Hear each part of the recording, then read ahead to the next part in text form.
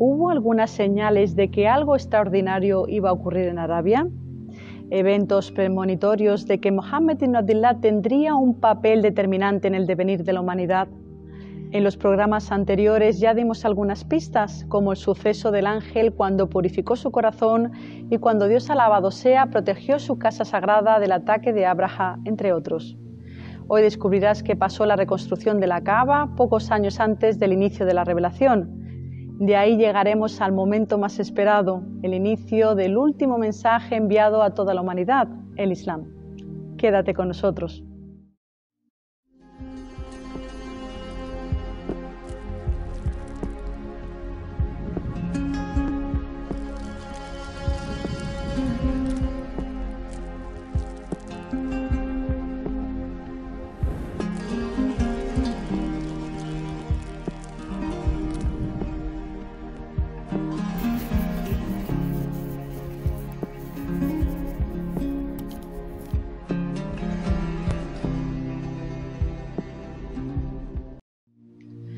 Que la paz sea con vosotros. Bienvenidos de nuevo a vuestro programa de biografía profética de Fasila. Cuando el enviado de Dios, paz y bendiciones, tenía 35 años, la casa sagrada fue dañada por las sucesivas inundaciones, por lo que debía ser reconstruida. Los árabes sentían un gran respeto hacia la Kaaba y la mera idea de derribarla para su reconstrucción les hacía pensar que algo malo les podría ocurrir. Al-Walid ibn al-Mughira, un notable muy influyente de Quraysh, tomó la iniciativa y empezó a derruirla. Nadie más movió un dedo, o mejor dicho, un pico, pensando que si sobrevivía al día siguiente sería señal de que Dios alabado sea no se oponía. Así que hizo de auténtico conejillo de indias y al ver que su salud se veía intacta, comenzaron a ayudarle. Los clanes de Quraysh se dividieron en cuatro grupos y cada uno se ocupó de reconstruir una de sus paredes por el profundo respeto que tenían por la Kaaba, en su reconstrucción se impusieron condiciones. La más importante es que la financiación de la operación no podría ser de origen ilícito. Así, de forma explícita, se excluyó toda financiación derivada de la prostitución, la usura y la apropiación indebida. El problema surgió cuando llegó el momento de colocar la piedra negra, un honor que todos querían ostentar. Durante cinco días pararon las tareas y a punto estuvieron desenvainar las espadas, hasta que el más anciano de la Meca propuso que la primera persona que entrara por una especie de puerta por la que pasaban los peregrinos decidiera. Así que todo estaba al azar, ya que el afortunado previsiblemente elegiría su propio clan. ¿Sabéis quién pasó por esa entrada? Mohammed la pasea con él, que recordemos aún no le había llegado la revelación, el carácter del profeta era tan amable con todos que hacía pensar a quien le conociera que era el más amado por él, por lo que todas las tribus quedaron contentas pensando que le exigirían a ellos. Pero Mohammed Alamin, fiel a su carácter, en lugar de arrogarse el honor o honrar solo a su clan, tuvo una brillante idea emplear una tela en la cual transportar la piedra negra que sostendrían entre los representantes de las distintas tribus y él la colocaría con sus propias manos, además de colaborar con los muros transportando otras piedras. Esto muestra no solo su sabiduría e imparcialidad, sino que estaba alejado de todo individualismo y afán de protagonismo. Finalmente cambiaron la estructura de la cava en tres aspectos la forma y el tamaño. En tiempos del profeta Abraham, la paz y bendiciones era rectangular, pasando ahora a ser cuadrada. Y esto fue porque solo quisieron emplear dinero de ganancias lícitas que no vinieran de la usura, el fraude, el juego, etc. Y es que ya tenían unos valores religiosos y éticos antes de la llegada del Islam. En las esquinas donde llegarían la estructura original pusieron dos postes que estarían unidos por un muro bajo semicircular, lo que se conoce como el Hijr Ismail elevaron la altura de la casa sagrada y de la misma puerta, ya que no querían que todo el mundo pudiera entrar. Solo los custodios tendrían la llave y la escalera para acceder a él. También colocaron un caño para evacuar el agua. Cuando se abrió la ciudad de Meca más de una década después, el mensajero de Dios la pasea con él, le dijo a su esposa Aisha bint Abubakar que Dios esté complacido con ella que si no fuera porque su gente era muy nueva en el Islam, derribaría esta estructura y la reconstruiría sobre los pilares originales, como el tiempo de Abraham, paz sobre él, y bajaría la puerta para que todo el mundo pudiera entrar. Este comentario da cuenta del espíritu de gradualidad del Islam y su empatía con las distintas sensibilidades. Ya destacaba por su comportamiento ejemplar e inteligencia, se mantuvo alejado de las supersticiones, los embriagantes o de participar en cualquier rito pagano. Esto no le hizo alejarse de los intereses legítimos y solidarios de su comunidad, todo lo contrario, asumió un rol activo participando en los eventos que eran de bien común. El enviado de Allah, que la pasea con él, se distinguía por su modestia y honestidad, gentil, pudoroso, hospitalario y siempre impresionaba a la gente por su aspecto que inspiraba respeto. Era el más confiable y por ello le llamaban Alamín, digno de confianza. En los meses previos al comienzo de la revelación, el mensajero de Dios vivió ciertos eventos que presagiaban que algo iba a pasar y supusieron para él una preparación psicológica y espiritual.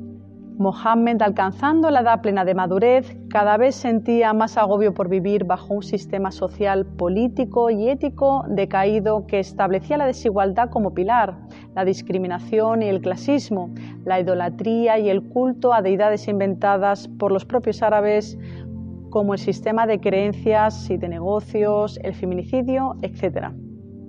Esta realidad le llevó a los 38 años a iniciar sus retiros en una cueva a las afueras de Meca para pensar y reflexionar sobre el sentido de la existencia.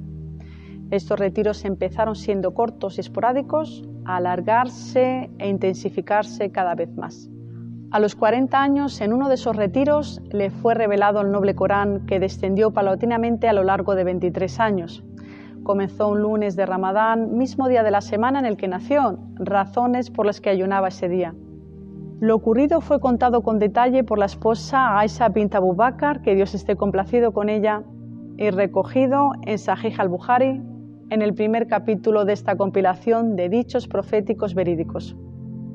En ese momento la gran sabia Aisha ni siquiera había nacido, lo que muestra la relación tan íntima que tenía con su esposo y el interés de ella en transmitirnos el mensaje.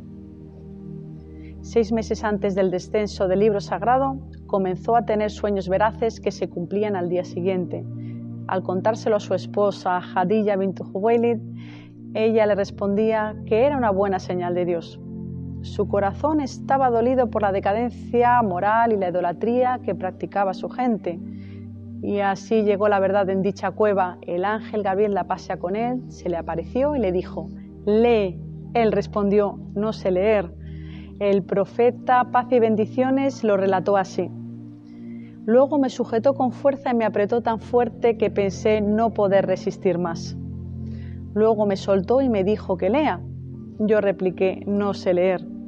Entonces me sujetó nuevamente y me apretó tan fuerte que pensé no poder resistirlo más. Luego me soltó y me pidió nuevamente que lea. Respondí, no sé leer.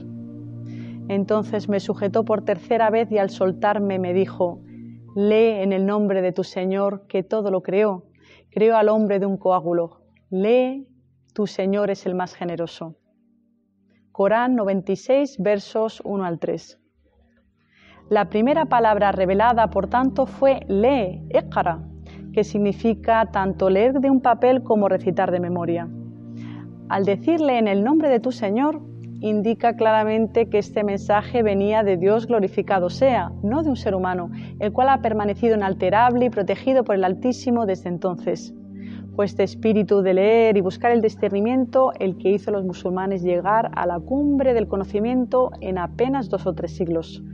El profeta la pasea con él salió de la cueva temblando de frío a causa del miedo. Su corazón latía aceleradamente. Tenemos que tener en cuenta el shock que vivió a todos los niveles en esta experiencia divina. ¿A dónde iría?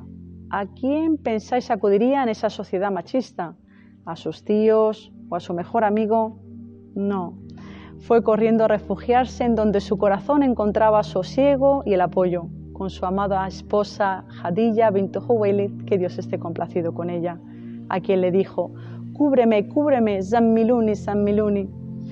El hecho de narrar esta historia muestra su veracidad y que no fue algo premeditado, además de la relación de confianza, amor y complicidad que compartía con su esposa, ante lo cual no dudó en mostrar su debilidad le dijo, temo que me suceda algo.